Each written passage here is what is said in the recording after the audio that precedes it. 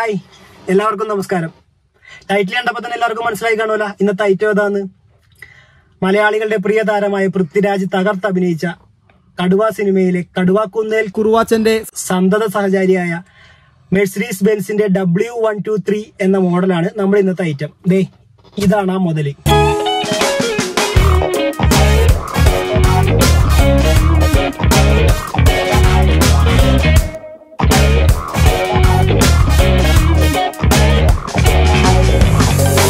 Mercies ബെൻസിന്റെ W one two three two hundred D എന്ന് പറഞ്ഞ മോഡലാണ് ഈ കിടക്കുന്നത്.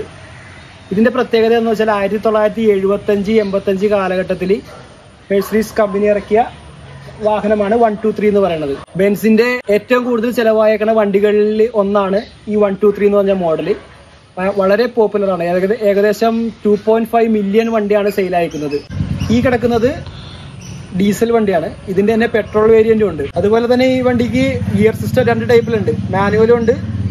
ഓട്ടോമാറ്റിക്കും ഉണ്ട്.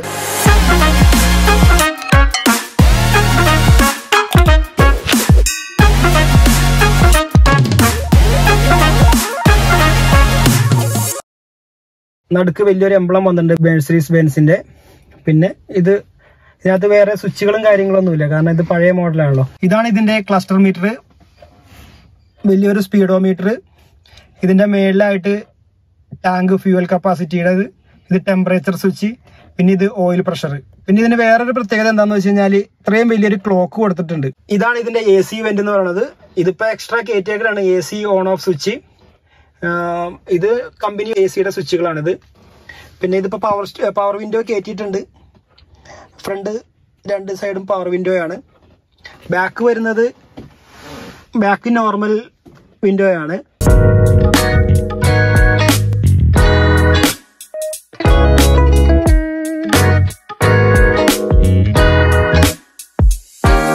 ഇതിന്റെ ഗിയർ സിസ്റ്റത്തിൽ ചെറിയൊരു വ്യത്യാസമുണ്ട്.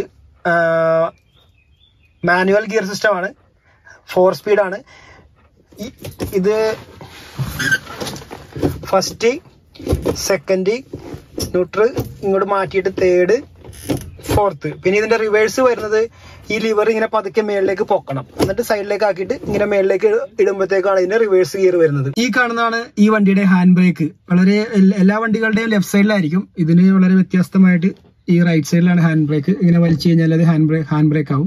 ഹാൻഡ് ബ്രേക്ക് റിലീസ് ചെയ്യുന്നത് റൈറ്റിലേക്ക് തിരിച്ചിട്ട് പ്രസ് ചെയ്യാനാണ് പിന്നെ ഇതാണ് ഇതിന്റെ ഹെഡ്ലൈറ്റ് ഓൺ സ്വിച്ച് പിന്നെ ഈ കാണുന്നതാണ് ഹസാർഡ് സ്വിച്ച് അതിന്റെ സൈഡിൽ തന്നെ രണ്ട് പവർ വിൻഡോന്റെ സ്വിച്ചസും ഉണ്ട്. ഇതിന്റെ മിറർ സിസ്റ്റം പണ്ടത്തെ സിസ്റ്റമാണ് ഇതിങ്ങനെ അഡ്ജസ്റ്റ് ചെയ്യുമ്പോഴത്തേക്കും മിറർ ഇവിടെ അഡ്ജസ്റ്റ് ആവും.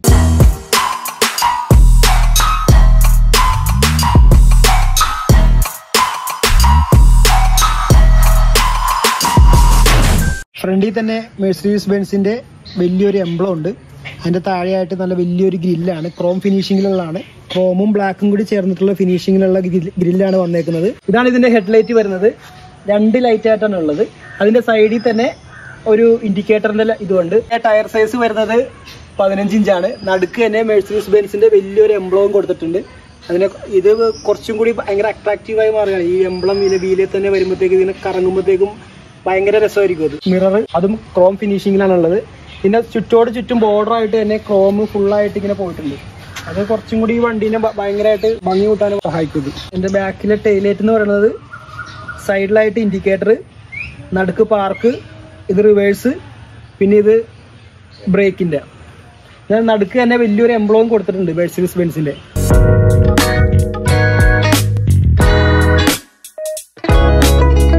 ഈ കാണുന്നതാണ് ഇതിന്റെ ബോണറ്റ് നമുക്ക് തുറക്കാനുള്ള ലിവർ ഇത് വലിച്ചു കഴിയുമ്പോഴത്തേക്കും ബോണറ്റ് ഓപ്പൺ ആവും. ഇപ്പൊ അവിടെ ഓപ്പൺ ആയിട്ടുണ്ട്. അകത്ത് വലിച്ചതിന് ശേഷം ഇവിടെ പുറത്തേക്ക് അപ്പോൾ ഒരു ലിവർ ഇങ്ങനെ ഇങ്ങനെ പുറത്തേക്ക് നീണ്ടു വരും. അതിങ്ങനെ വലിക്കണം. വലിച്ചു കഴിഞ്ഞിട്ടാണ് ഇത് പൊക്കേണ്ടത്. ഇതിന്റെ വേറൊരു പ്രത്യേകത എന്ന് പറഞ്ഞാൽ ഇങ്ങനെ പൊക്കി വെച്ച് കഴിഞ്ഞാൽ ഓട്ടോമാറ്റിക് ആയിട്ട് ഇവിടെ നിന്നോളും.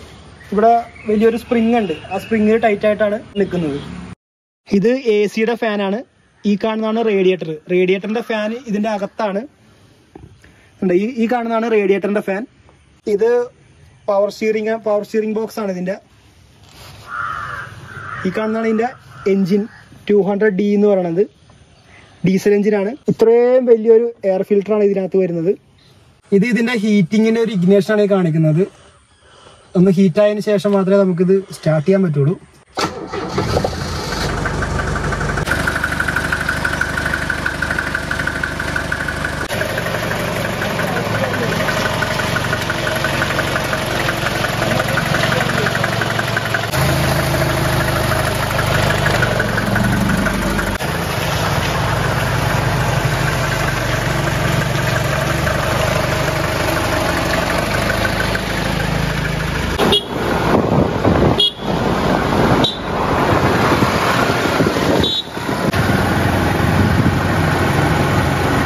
നമ്മുടെ രാജുവേട്ടൻ ഇരുന്ന് തകർത്ത് ഓടിച്ച സ്റ്റിയറിംഗ് ആണിത്.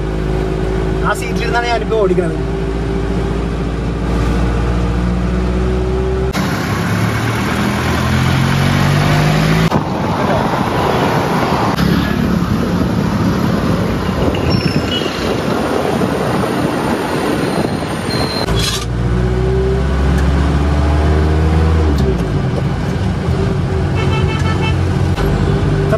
വർഷത്തെ പഴക്കമുണ്ടെങ്കിലും എന്താ സ്മൂത്ത് എന്നറിയാമോ വണ്ടി ഓടിക്കാൻ? വണ്ടിയിൽ ഇങ്ങനെ കിടന്ന് നമുക്ക് റൈഡ് ചെയ്യാം. ലോങ് ഒക്കെ പോകുമ്പോഴത്തേക്കും നല്ല കംഫർട്ടായിരിക്കും സീറ്റ് ഭയങ്കര കംഫർട്ടാണ് ഇതിന്റെ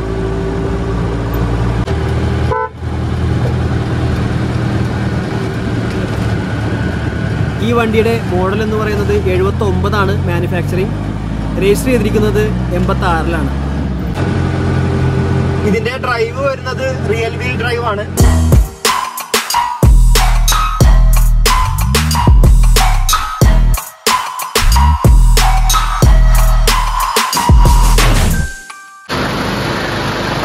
ഇന്നത്തെ വീഡിയോ എല്ലാവർക്കും ഇഷ്ടമായത് പ്രതീക്ഷിക്കുന്നു.